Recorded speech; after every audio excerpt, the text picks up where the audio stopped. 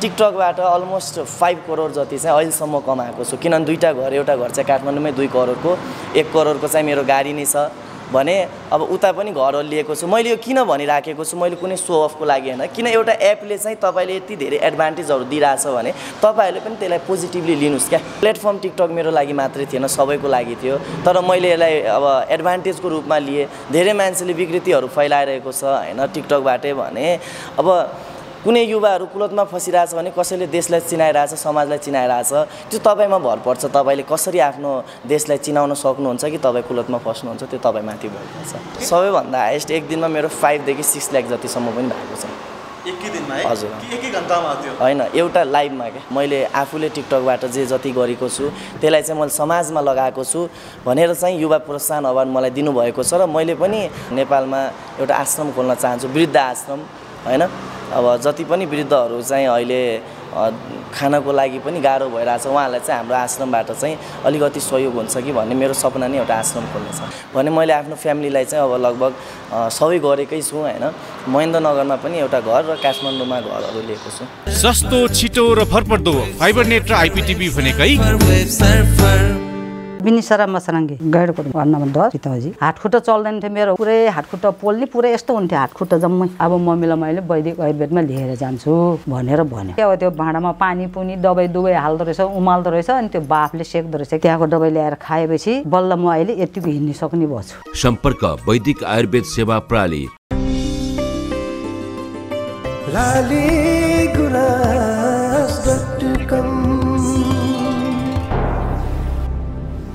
सबै खबर सबैका लागि। नेपालको पहिलो समावेशिका समावेशी म्युजिक अवार्ड निम अवार्ड दुई हजार चौबिसबाट प्रतिभा प्रोत्साहन सम्मानबाट सम्मानित हुनुभएकोमा टिकटक स्टार कलाकार मोडल अंशु वर्मा सरलाई एकदमै धेरै बधाईसहित स्वागत गरेँ मैले सम्पूर्ण मिडियामा। धन्यवाद सर धन्यवाद। कतिको उत्साहित हुनुहुन्छ हेर्नु त आज युवा प्रतिभा प्रोत्साहन सम्मान भनेर तपाईँले सम्मान ग्रहण गर्नु एकदमै नै खुसी लागिरहेको छ अब भर्खरै म अस्ति काठमाडौँ आएको होइन? म अब खासै म महेन्द्रनगर कञ्चनपुर बस्छु। अनि आउने लगत्तै अब यो युवा प्रोत्साहन अवार्ड पाउनु भनेको एकदमै खुसी छु।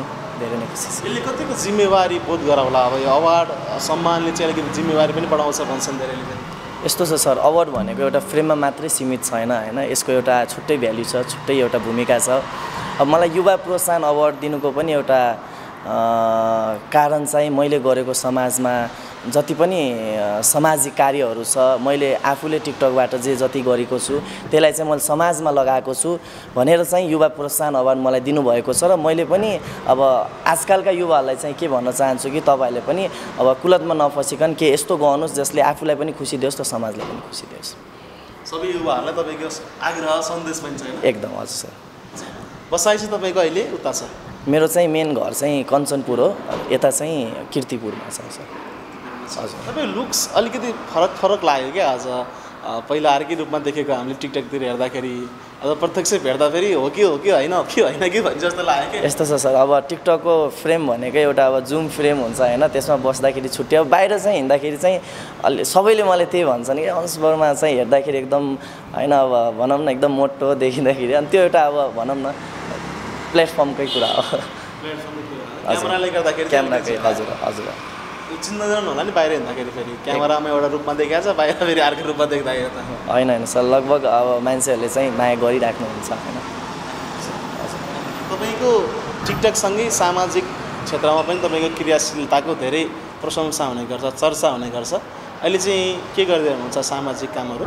सर यस्तो छ मैले चाहिँ अहिले आफ्नै बर्मा नोटबुक भनेर धेरैलाई अहिले थाहा भएको यो न्युजहरूमा पनि आएको होला। मेरो आफ्नै फ्याक्ट्री छ अहिले सुदूरपश्चिममा चलिरहेको छ स्टेसनरीहरू।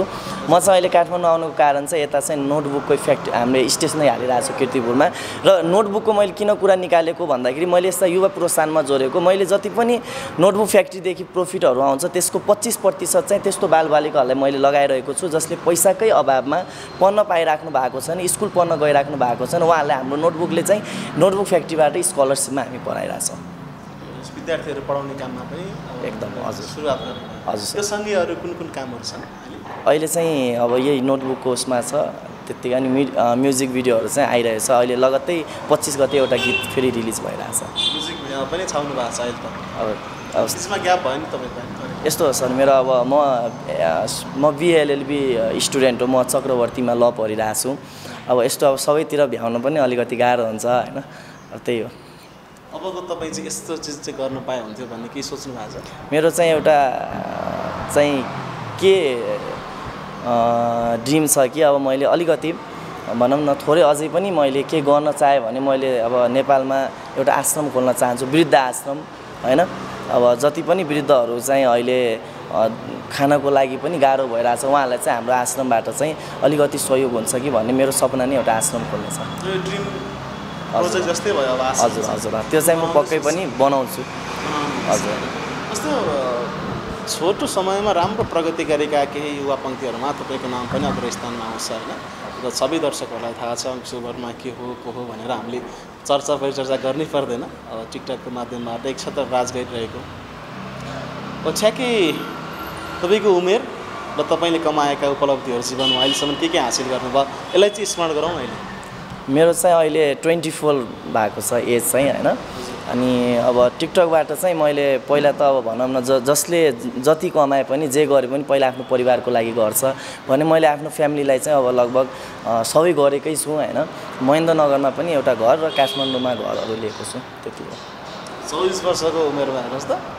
कोही युवाहरू पढ्दै होला नि कोही युवाहरू विदेशमा गएर खाडीमा भौतारिँदै होला तपाईँ चाहिँ नेपालमै बसेर यति राम्रो प्रगति गर्नुभयो। अब यस्तो छ सर सबैको आफ्नो हुन्छ छुट्टै। अब युवाहरू भनेको पनि अब सबैले नराम्रो भन्न पनि मिल्दैन। तर यो आफूमाथि छ तपाईँले कसरी अगाडि बढ्नुहुन्छ? प्लेटफर्म टिकटक मेरो लागि मात्रै थिएन सबैको लागि थियो। तर मैले यसलाई अब एडभान्टेजको रूपमा लिएँ। धेरै मान्छेले विकृतिहरू फैलाइरहेको छ होइन टिकटकबाटै भने। अब कुनै युवाहरू कुलतमा फसिरहेछ भने कसैले देशलाई चिनाइरहेछ समाजलाई चिनाइरहेछ त्यो तपाईँमा भर पर्छ। तपाईँले कसरी आफ्नो देशलाई चिनाउन सक्नुहुन्छ कि तपाईँ कुलतमा फस्नुहुन्छ त्यो तपाईँमाथि पर्छ। हजुर। ओके। समग्र यो छोटो समयमा राम्रो अ, तपाईँले जुन आफूले गर्नुपर्ने ड्रिम प्रोजेक्टहरू पुरा गरिसक्नु भएको छ घर गाडी भनेका हाम्रा चाहिँ आवश्यकताहरू हुन्छ भन्छन् सबैले पुरा गर्छन्। आज जीवन भनेको चाहिँ के रहेछ कसरी बुझ्नुभयो तपाईँले यो उमेरमा चाहिँ। जीवन भनेको भोगाइ हो सर होइन? जे हामी अहिले हेरिरहेछौँ भोगिरहेछौँ त्यो नै जीवन हो। जीवनको अब कुनै ठुलो परिभाषा चाहिँ म भन्दैन। जीवन भनेकै हाम्रो हामीले गर्ने एउटा भनौँ न हामीले समाजलाई गर्ने हामीले आफ्नो परिवारको लागि गर्ने एउटा योगदान हो होइन? अनि त्यत्तिकै भोगाइ नै भनौँ म। जीवन भनेको भोगाइ हो। त्यति हो सानैदेखिको तपाईँको सोच चाहिँ के थियो के गर्छु भन्ने थियो जुन बिचमा एउटा टिकटक भन्ने किसिमको एप आए पछाडि तपाईँको जीवन त्यता मोडिएको हो कि तपाईँको लक्ष्य चाहिँ के थियो सानैदेखि मेरो लक्ष्य नै वकिल बन्ने हो सर। मैले एघार बाह्रमा पनि अब टिकटक आउनुभन्दा अगाडि म ल पढेको होइन? अनि अलिकति बिचमा टिकटक आएपछि अब भनौँ न अब सबैको स्थिति राम्रो हुँदैन। मेरो पनि अलिकति फाइनेन्सली अ, विक भएकै कारणले मैले टिकटकलाई अलिकति धेरै नै महत्त्व दिएँ किन त्यसले मलाई एकदम धेरै दिएको छ टिकटकले भने एक दुई साल जति मेरो ग्याप भयो तर फेरि मैले निरन्तर ल नैलाई ल ल सब्जेक्टलाई दिएको छु र म अहिले बिएलएलबी पढिरहेको छु। अब लगभग दुई तिन इयर्समा चाहिँ वकिल बनेर निस्किन्छु जस्तो टिकटक लाइभ बसेर हजुर। गिफ्ट्सहरू त धेरै आइहाल्छन् तपाईँलाई पठाइहाल्नुहुन्छ। यसले समाजसेवामा खर्च गर्छ गरिब दुखीलाई लगेर दिन्छ भन्ने उद्देश्यले पनि धेरैलाई तपाईँलाई गिफ्टमा अ, गिफ्ट्सहरू पठाइरहनुहुन्छ। छोटो समय लाइभ बसेर यति धेरै चाहिँ आम्दानी भएको त भन्ने जस्तो रेकर्ड केही छ तपाईँको? यस्तो छ सर अब टोटलमै भन्नुपर्दा अब धेरैले चाहिँ अब आफ्नो कमाइ भन्नु पर्दैन भन्छन् होइन? आफ्नो मैले चाहिँ म भन्न म भन्छु क्या। किनभने अब मैले टिकटकबाट अलमोस्ट फाइभ करोड जति चाहिँ अहिलेसम्म कमाएको छु। किनभने दुईवटा घर एउटा घर चाहिँ काठमाडौँमै दुई करोडको एक करोडको चाहिँ मेरो गाडी नै छ भने अब उता पनि घरहरू लिएको छु। मैले यो किन भनिराखेको छु? मैले कुनै सो अफको लागि होइन। किन एउटा एपले चाहिँ तपाईँले यति धेरै एडभान्टेजहरू दिइरहेछ भने तपाईँहरूले पनि त्यसलाई पोजिटिभली लिनुहोस् क्या। होइन? त्यसमा के नराम्रो चिज त छैन। होइन? तपाईँहरूले पनि पोजिटिभली युज गर्नुहोस्। त्यसलाई आफ्नो लागि पनि ड्रिमहरू पुरा गर्नुहोस् र समाजलाई पनि अलिकति सहयोग गर्नुहोस्। एक दिनमा मैले सोधेको थिएँ नि। एक दिनमा लाइभबाट चाहिँ कति कमाइ गर्नुभएको सबैभन्दा हाइएस्ट सबैभन्दा हाइएस्ट एक दिनमा मेरो फाइभदेखि सिक्स लाख जतिसम्म पनि भएको छ। एकै दिनमा है हजुर। एकै घन्टामा त्यो? होइन एउटा लाइभमा क्या। एउटा लाइभ घन्टाको हुन्छ? दुई तिन थ्री आवर्सको हुन्छ थ्री आवर्सको मैले बिहानको लाइभमा एकचोटि चाहिँ फाइभ टु सिक्स लाख जति चाहिँ मैले कमाएको छु। हेर्नुहोस् न तिन घन्टाको लाइभबाट छ लाख रुपियाँ कमाउनु भनेको त्यो पैसा भए तपाईँले सबै समाजसेवामा त आधीभन्दा बढी खर्च गर्नुभयो। होला यस्तो छ सर मैले अब कमाएको मध्ये लगभग एक करोड जति चाहिँ मैले समाजमा पनि लगाएको छु सर। लगभग यो तिन सालमा दुई हजार बिसमा सुरुवात गरेको अब एक साल चाहिँ पहिला आफ्नै परिवारलाई अब भनौँ न आफ्नो परिवारको लागि आफ्नो लागि गऱ्यो र बाँकीको तिन सालमा मैले लगभग समाजमा एक करोड जति चाहिँ लगाएको छु सर। हजुर। अहिलेको युवा पुस्ताहरूलाई चाहिँ के भन्न चाहनुहुन्छ? अब अन्तिम अन्तिममा पनि छ।